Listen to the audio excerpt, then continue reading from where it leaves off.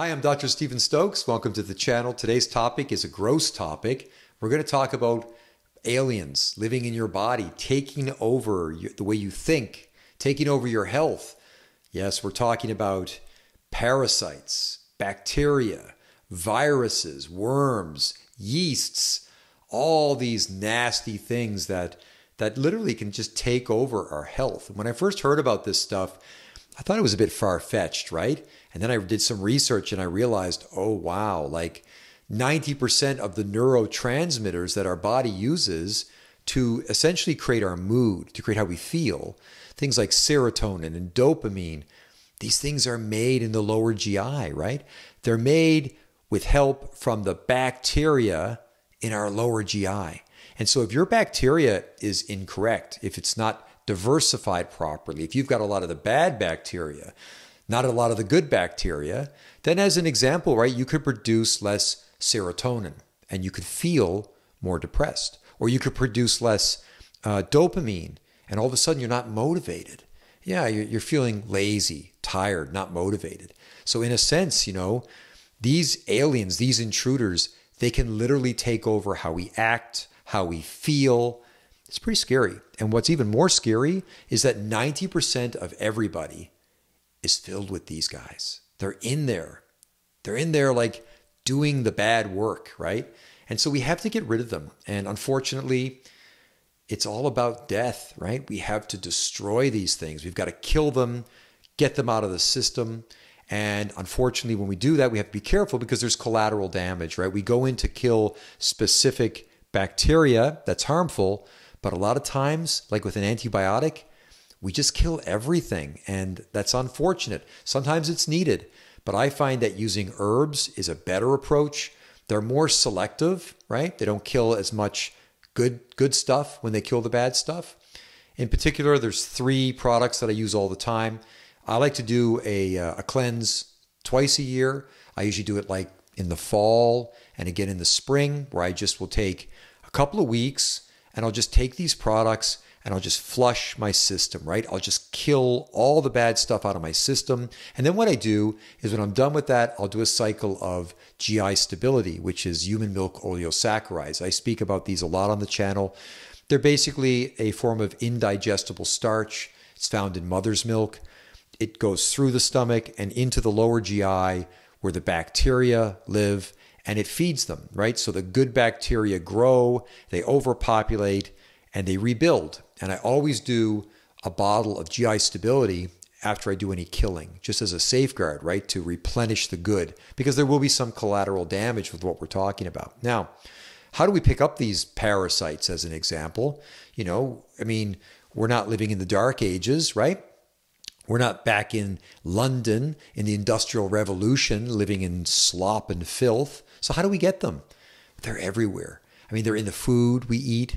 If you're eating meat uh, and fish that's not cooked properly, you can get them. Uh, but they're in the they're in the soil. You can pick them up if you do a lot of work outside, like landscaping or gardening. Um, they're in the water we drink.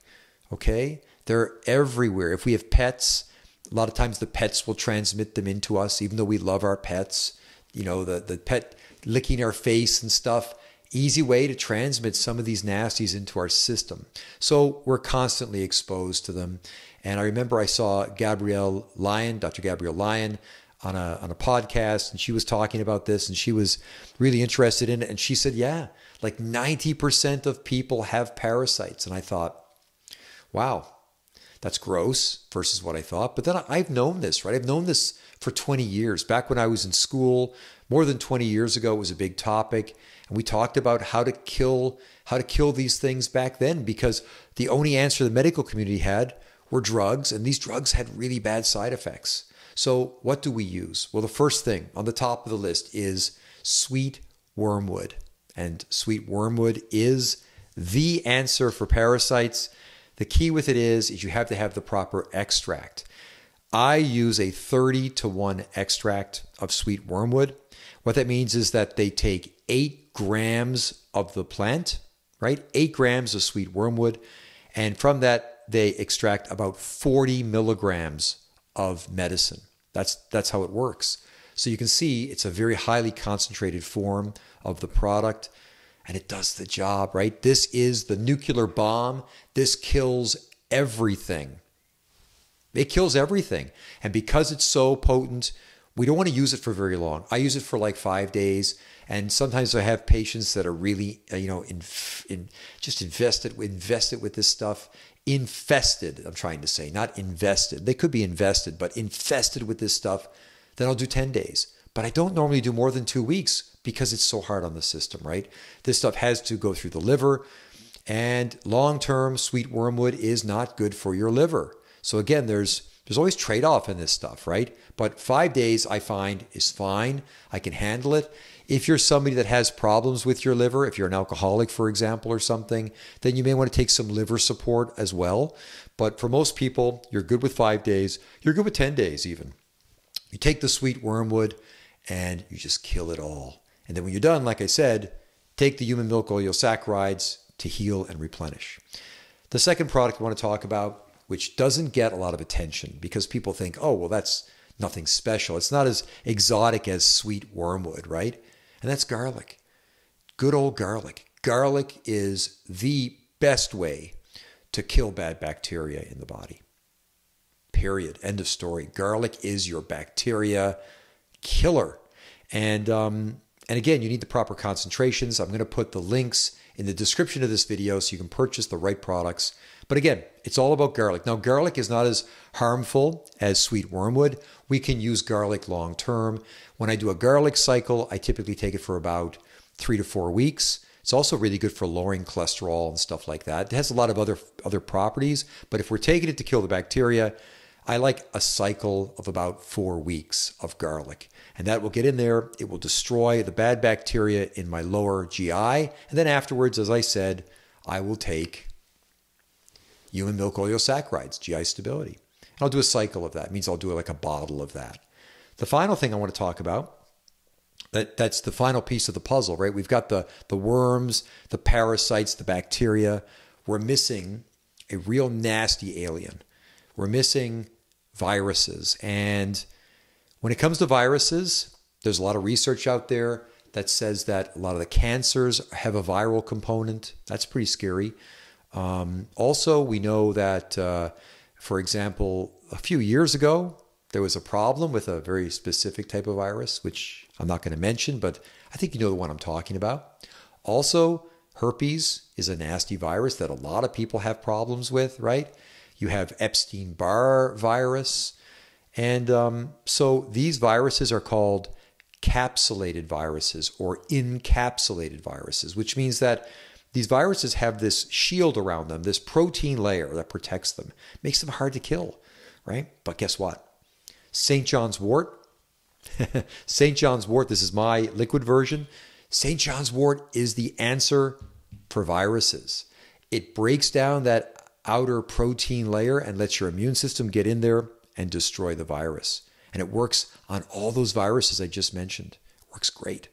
And um, if you suffer from a viral problem, if you have a virus as far as uh, like a, a cold sore, which is herpes, this is the key, right? You you take the St. John's wort and it will kill it. End of story, right? It kills viruses. Uh, you can take that longer term. Again, you can take that for uh, four weeks, eight weeks, right? One to two months of St. John's wort. Sometimes it takes a bit longer. Uh, it's not like sweet wormwood, which is like the you know the the quick kaboom. St. John's wort you have to use it a little bit longer, but it's great for viral problems. And I'll do those three different products. I'll cycle them twice a year just to keep my body feeling good, to keep my system working working properly. And as we mentioned, you know, um, if you're doing any of this killing, make sure that you always follow it up with a cycle of GI stability just to help rebuild the natural flora in your system. And uh, as a safety net, if you're somebody that seems to frequently have problems with aliens taking over your body, then do something really simple, right? Like get some Zypan, and I'll put the link in the description. Zypan is an acid based um, digestive enzyme product, right? And you just take a couple of these Zypans uh, just before you go to eat. It increases the acidity of your stomach. That's the first line of defense, right? High stomach acidity kills all the nasties before it gets hold in your system, before it gets into your bloodstream. That high acid stomach is going to take care of it. A lot of times, people who get um, infested with um, bacteria in their stomach, they get that H. pylori uh, bacteria, which causes acid reflux, causes gastritis, right? That bugger, it just implants itself into the lining of your of your tummy. Hard to kill. Hard to kill with um, with even with medicines, right, from the medical doctor. But guess what? Garlic does the job really good. You just do that high dose garlic that I'm talking about and you kill it. But guess what also helps? Keeping your stomach acidic. A lot of times people get these problems. They get acid reflux because they don't have enough acid in their stomach. It's a weird thing, right? I've made videos on this. So if you want to safeguard against these things, a few of these Zypan uh, pills before your meals keeps the acidity nice and high. And then if you've got any aliens, right? If you've got any nasties living in the food you're ingesting, it's going to just kill it. Kill it in the first, kill it in the stomach with the acid before it gets into the bloodstream. Hope this was useful. If it was, give me a thumbs up. Reach out to me directly through my website if you have any other questions, free downloads of my books and all that other stuff, free consultations. Thank you for supporting the channel. I appreciate it. And if you're going to buy the products, please use the links. Again, I just want to say thanks and uh, stay clean out there. bye bye.